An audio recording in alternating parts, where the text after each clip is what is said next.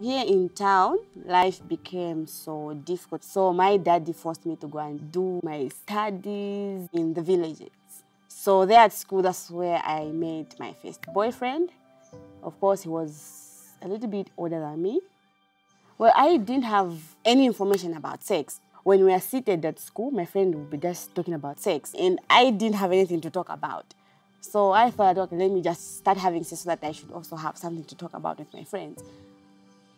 So the third time we had sex, when we were done, he just told me that the condom busted.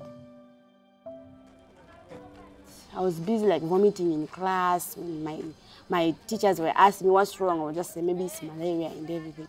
But I was convinced now that no, this, I think this is pregnancy. So I asked him that what are we going to do about it? Then he told me never to talk about it again because I was getting on his nerves and he was threatening me that if I continued telling him about that same thing, he was going to beat me up, those threats. And I was scared of my dad, that maybe he might kill me. All this while I've been planning like to be a nurse when I'm done with school. Then this pregnancy, how am I going to take care of the child? I hear that people die during labor. I just wanted to have it removed in our village where we used to stay with my grandma, there was an aunt somewhere just nearby.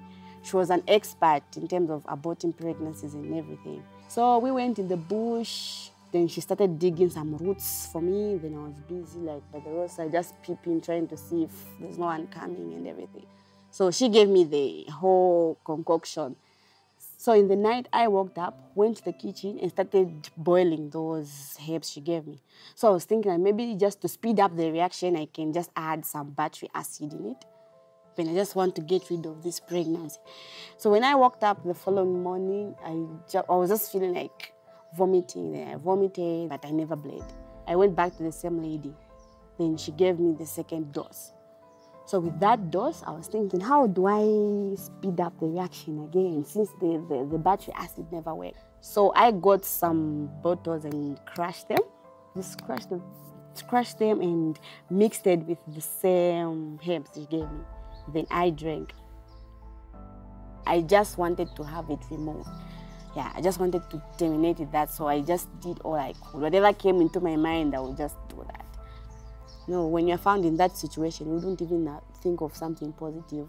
Everything you'll be thinking about will be negative and bad and evil, just to get rid of the pregnancy. I'm just so grateful that I'm, I'm lucky to have survived. I share my life experience because I wouldn't want girls to go through what I went through. Yeah.